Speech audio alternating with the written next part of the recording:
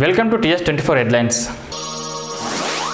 హైదరాబాద్లో లాక్డౌన్ పై సర్కార్ విస్తృత మథనం. సిఎస్ నివేదిక తర్వాత నిర్ణయం తీసుకోనున్న సీఎం కేసీఆర్. లాక్డౌన్ ప్రచారంతో స్వస్థలాలకు బయలుదేరుతున్న ప్రజలు. ఏపీ తెలంగాణ సరిహద్దుల్లో భారీగా నిలిచిన వాహనాలు. పాఠశాలల ప్రారంభంపై ఇంకా నిర్ణయం తీసుకోలేదన్న విద్యాశాఖ. ఆన్లైన్ తరగతులపై ఎలాంటి మార్గదర్శకాలు ఇవ్వలేదని వెల్లడి. యాప్స్ నిషేధంతో దేశీయ అప్లికేషన్లకు ఆదరణ. వైభో నుంచి వైదొలిగిన బలమైన సందేశం పంపిన ప్రధాని.